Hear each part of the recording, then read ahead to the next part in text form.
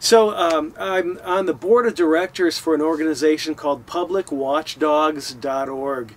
And Public Watchdogs was founded on the premise that the people have the right to know what's going on with their government and their environment. What we're doing is exposing corruption in government that has an impact on the environment. And uh, there's a lot of that going on. And we're kind of short on the funds that we need to accomplish it and the people that we need to fully investigate all of the things that we know are going on. What we're doing right now is we're taking on the biggest issue that we feel is most important for the country and focusing on that one issue in public while we continue to advance on other issues that we also see are important. But uh, publicwatchdogs.org needs your support and your help, just like John's organization, helppa.org, needs your support and deserves your support. The Pinwheel is an organization where the, the head of it is a C-level executive, like a CEO or a CFO of one of these uh, oil transportation companies. And, um, and so quarterly, the, director of the Pinwheel would change. And whenever pipeline operators would discover uh, a surface expression of a petroleum product that wasn't their own from their own pipeline, they call into the pinwheel, and whoever's in charge of the pinwheel that quarter takes whatever actions are necessary to identify whose uh, oil line might be leaking and give them heads up. And then they go out there and rather than following state and federal laws that say you've got to report the spill and if you've got to do a proper cleanup and everything, they just go out and they, they fix a pipeline in the middle of the night and they just leave the contamination in place. And so I learned about this and I brought that to the attention of the oil company that I was working for for that service station. And the very next day, our project got pulled from us because uh, somebody didn't want us knowing about the pinwheel. Wow. So I I love you, man. You're you're awesome. Thank you. You're you're the I'm the hands-on guy, and you seem to be the very smart, intelligent scientist guy that we we need to team up. Yeah, I'm looking forward to that. I've got over 200 case studies that I've worked on over the last 25, 27 years. So I, I just shared a few of them with you. I've got so many more. I wish you would have blown the whistle because then they would be calling you the whistleblower. yeah, that's okay with you being the whistleblower. Well, I don't mind that. well, thank you very much. I appreciate that. Um, what can I do better?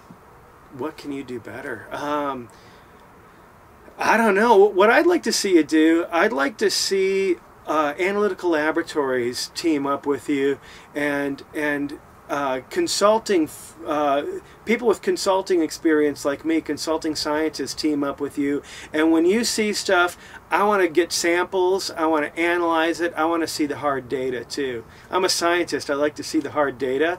I don't doubt, I mean, the videos that you show, when you see oil sheen coming up, when you disturb what's buried underwater, it's obvious it's oil sheen. When you show oil on your gloves, it's obvious that it's oil. But to have the laboratory data too that shows what the constituents are, you know, you can fingerprint where these oils come from by what chemicals are present and what chemicals are absent in the concentrations of them. That's something that I would do a lot in the cases I'd work on. We could fingerprint specifically if there were leaks from multiple gas stations. Uh, different uh, service stations brands have different trademark uh, chemical constituents in those gasolines, and we could pinpoint whose gasolines they were from fingerprinting analysis. Well, you have that situation with fracking now. I mean, fracking is a mile away and it's poisoning your water. Yeah, yeah. Fracking, uh, fracking was such a valuable business to the oil industry in the United States. It created like an oil boom over the last 10, 15 years because they pulled all the environmental regulations and just said go frack away. And uh, so many drinking water aquifers got permanently contaminated from this. I worked on uh, as a consultant for oil field investments out in Texas, and all in these oil fields, the way that they managed it, uh, they didn't manage it the way we do here in California or the way we're supposed to by law. They were just blasting through these uh, freshwater uh, aquifers, and all the aquifers got contaminated. And then they're just tapping into all that water and using it to fill up the fracking pools, and they're just freely fracking. The, the goal is to get the wells in as quick as possible and so many I observed so many environmental practices and environmental laws being violated out there but the the goal is to get all the wells in and then you have this big package of wells that you can sell as a package to a big oil company and then the big oil company it's on them to you know dial things in but there's so much contamination that occurred out there. These these areas were just devastated by the big oil boom, and and I was only seeing the pieces that my you know uh, that the companies I do consulting work for were putting me on. I didn't even get out to the Midwest where where you are. Right. Um, so what can we do in the future to protect our water? You know, we're getting to the point where we've got so few water resources left that are free from contamination that you know just in my lifetime I've seen it where I could turn on the tap and get fresh drinking water that didn't have chemical contaminants to now everywhere I go to there's chemical contaminants that are on the short list that is required by the EPA to be reported but then there's thousands of other chemical contaminants that aren't even required to be reported in our drinking water supply. There's things like DEET in Chicago because uh, you know the Chicago's water supply comes out of Lake Michigan and everybody sprays DEET on them to prevent from getting mosquito bites, and that stuff washes off, and the mist is in the air, and it's the Lake Michigan's contaminated with it, and then it gets into the water supply.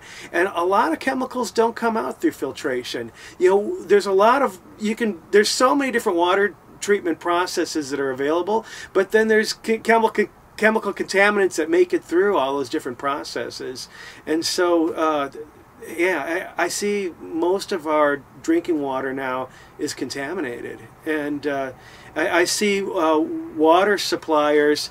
They'll have one well that has hexavalent chromium in it, and the rest of them don't. And uh, they rather than not use the well that's contaminated, be above the EPA levels with hexavalent chromium, they'll uh, dilute and they send all their customers a smaller amount of hexavalent chromium, which in my opinion is not criminal. safe at any concentration. That should be criminal. Yeah. I mean, they know that it's poisonous. Yeah, and it's so, so they dilute the poison into everybody's water instead of uh, having a shortfall of water. So, do you think what I'm doing is helping? Yeah, I do. I think what you're doing is bringing attention. Uh, most people are running through life with the blinders on. Most people are stressed out. They don't know how they're going to make their bills this month. They are so focused on survival that they don't have extra consciousness left to focus on issues like this. And for you to put the issues in their face, that's what that's what they need to wake up enough so that the people can take charge of the country again. I, I swear there's a there's people out there that are running things that are intentionally making it so hard on us that we don't take charge of our own country anymore so they can continue to profit but you're out there you get what you're seeing and you're you're like hopping in up to your knees with it and uh, and showing us you're revealing what what the companies that are committing the crimes want to have remain hidden. And that's really important. It's important to, I think the people have the right to know what's going on with their environment. And, uh, and I'm really proud of you for the work you're doing. And I wish we had more people like you doing this work.